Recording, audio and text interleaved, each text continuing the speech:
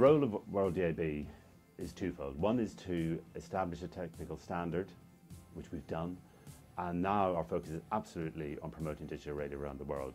And we have 93 members from 27 countries. And why have they all joined and what do they get from the organisation? I think the key thing is it's all one family. The key theme that we've established is that you need to collaborate both at a national level and at an international level to make digital radio a success. And what World DAB does, it brings all these people together from all aspects of the radio ecosystem, from policymakers and regulators, through broadcasters, manufacturers, and digital radio associations in, in individual countries. Our new Smart DAB launch here today uh, will fit in any car.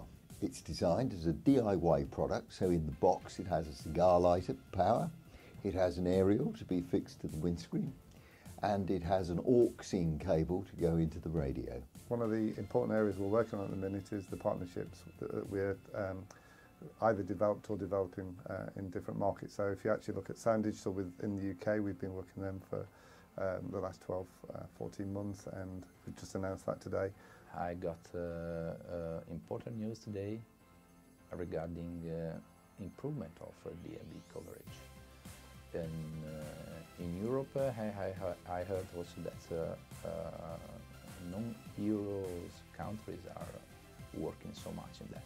Events like the General Assembly are a great way of sharing information. You know, we had some fantastic speakers over the last two days, but it's also a fantastic networking opportunity.